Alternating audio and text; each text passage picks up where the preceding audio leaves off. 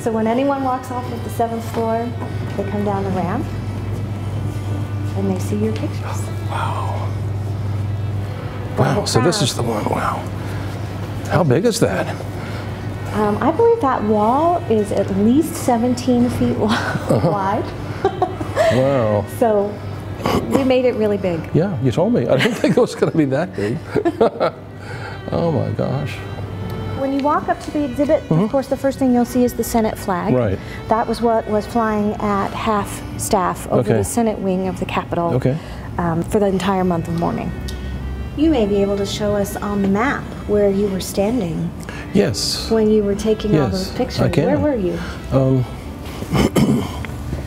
It depends on what's. It was above First Avenue, so it, it, it could have well have been here. There was.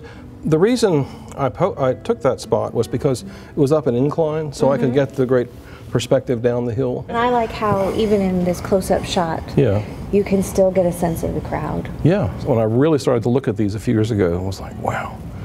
I mean, down to the the hardware on the caisson, and this is a flash of a moment that I took.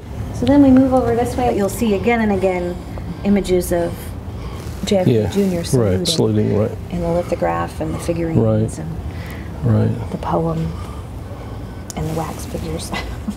so there's there's a lot of stuff here. That, Wow.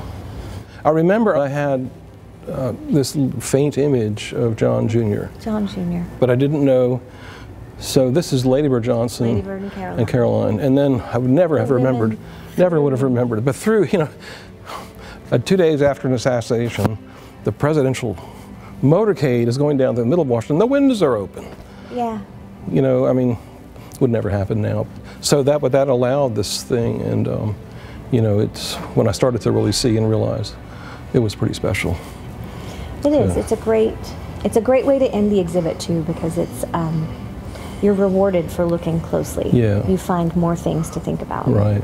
Well, I'm mostly really, really pleased that the uh, museum has has undertaken to take them, keep them, archive them, and, and have them. And because I didn't know what was going to happen to them, and you know, it's to see them this size and in this context. It's just, you know, it's stunning. It really takes me back. We're so Uh, pleased. Yeah.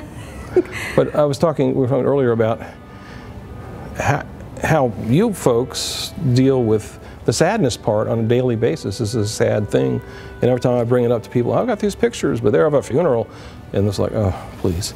You know, so, you know, it's a, a, it's a credit to you to be able to keep this going in, in the community and in Dallas in particular.